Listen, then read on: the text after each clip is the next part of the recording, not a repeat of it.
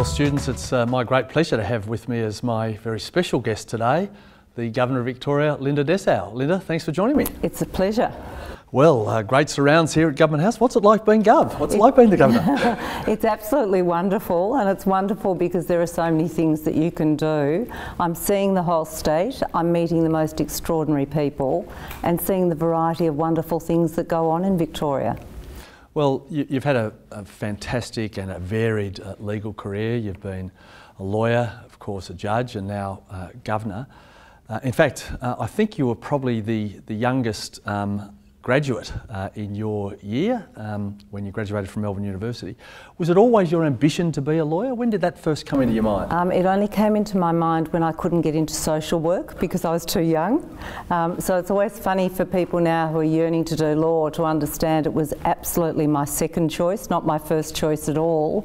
But at Melbourne University, they wouldn't let me into social work. They wouldn't let me into law originally but I went and advocated my cause and they let me start. So that's how I came to do law. And what was um, some of the, what were some of the difficulties you found being a student? Because we've got students watching this, um, they're postgrad students in the main, but uh, were you um, a a good student? Were you a difficult student? Did you find study hard? Um, what, what um, was I was. You probably won't be surprised to hear I was an earnest student and a hard-working student. But I was a pretty unhappy student in the first couple of years because I didn't like it very much. I thought law was boring. Um, I didn't like reading cases. I seriously thought of giving it up. And I went to see a young lecturer called Gareth Evans who said to me, So you don't like reading cases? And I said, No, not much. And he said, Neither does anybody, so don't worry about it. and with that terrific advice, I went back to it without worrying too much. And I'm really glad I finished it.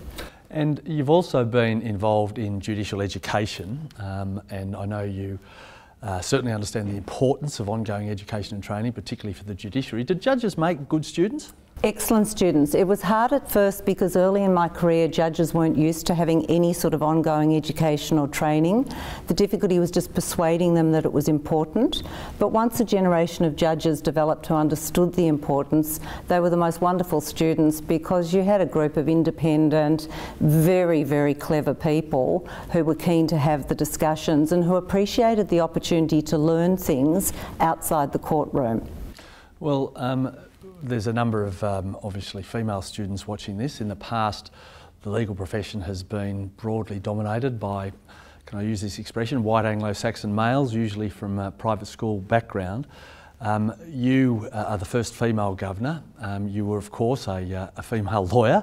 Um, do you have any perspectives from a, from a woman's point of view in relation to the law and whether it's changed and changed enough? Um, I think everything's changed and I think nothing's changed enough.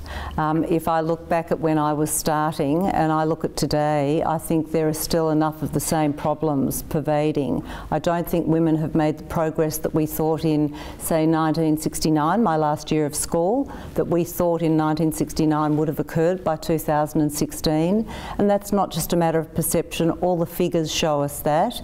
And sadly, all the figures that are projected for the next 30 or 40 years also show us that the change will be very slow. So it's something we all have to be vigilant about.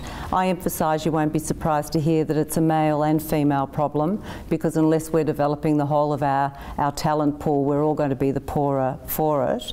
If you want advice from me to women, it's to work incredibly hard and incredibly well. That's the first smart thing to do.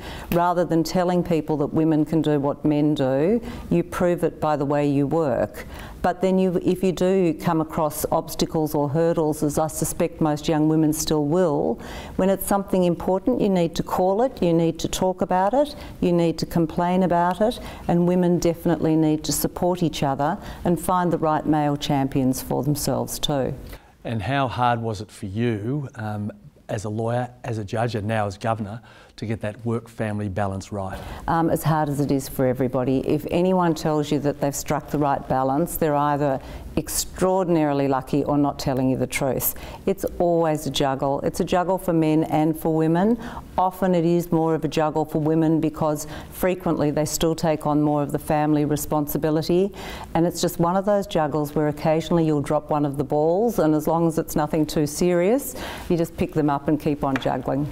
Okay, Linda, if you had um, one piece of advice to give our students who uh, want to, you know, uh, pursue a law course, they're aspiring lawyers, maybe there's even an aspiring governor out there watching this, what piece of advice would that be?